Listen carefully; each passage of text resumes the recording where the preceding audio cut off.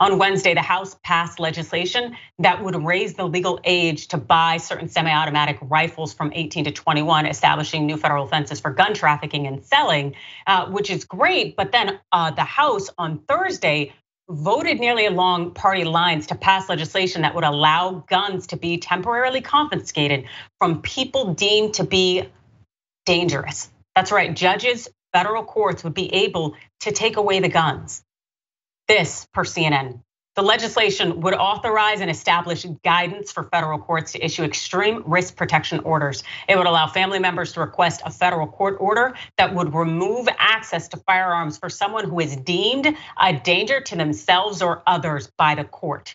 Now, this vote was 224 to 202. Five Republicans, that's Representatives Fred Upton of Michigan, Anthony Gonzalez of Ohio, Adam Kinzinger of Illinois, Brian Fitzpatrick of Pennsylvania, and Chris Jacobs of New York. Well, they voted for the bill. Democratic Representative Jared Golden of Maine voted against it. And we also know that four of the five Republicans are leaving Congress this year. Currently, Washington, D.C. and 19 states already have these kind of red flag bills in place. And as you can see from this map here of the states that have that, and the legislation would set it effectively as a national standard. That would seem to be pretty huge, something that we could look at to make sure that there is some effective changes when it comes to who has access to guns, especially if that person is a threat to themselves or to others. Um, we also know, per the New York Times, that in about 56% of mass shootings between 2009 and 2020, that the attacker showed warning signs before the shooting, and that's according to a report by Everytown. And also, uh, per the screenshot, we saw that there's a 14% reduction in firearm suicide rates with red flag laws in Connecticut and 7.5% in Indiana. It really does seem like these are effective changes that can be made. As far as it getting passed and signed into law, I really don't know. But what I do know in terms of the New York Times is that House GOP leaders, uh, they urged their rank and file on Thursday to oppose the bill.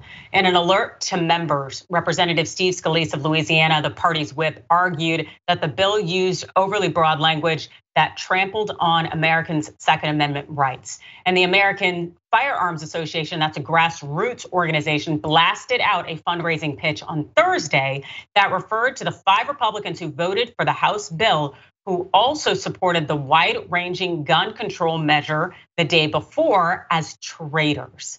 The group also called the Senate Republicans negotiating the compromise bill treacherous bastards who want to disarm the entire country. That's right. These people are not here for common sense gun regulations at all, even if there is a member of the judiciary evaluating whether this person truly is a danger to themselves or others. Brett. Yeah, uh, I agree with Republicans on uh, on this. And by Republicans, I mean the ones who put in the Department of Homeland Security in the wake of 9 11.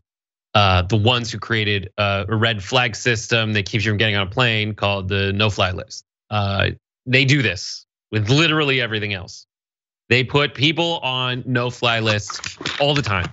And they essentially if there there should be a due process, a common sense due, common sense due process, as there is in other states, to confirm that this suspicion and this allegation um, is merited and real and warranted.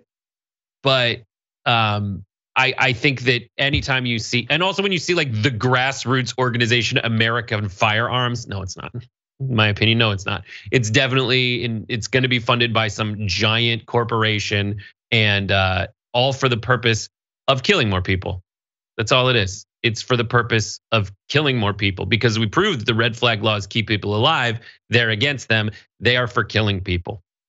Yeah, it definitely seems to be the case that these people are not here for human life, even though they love to tout themselves as being pro life and to ensure people are safe and that they can have a flourishing life. No, not at all because we're seeing that they are backing these um, gun owners, gun manufacturers, as opposed to doing something for the betterment of society. Uh, but hopefully, people will make the right decision in Congress. But I, I truly doubt it. Uh, the way we're going, it's not necessarily something that's going to go very far.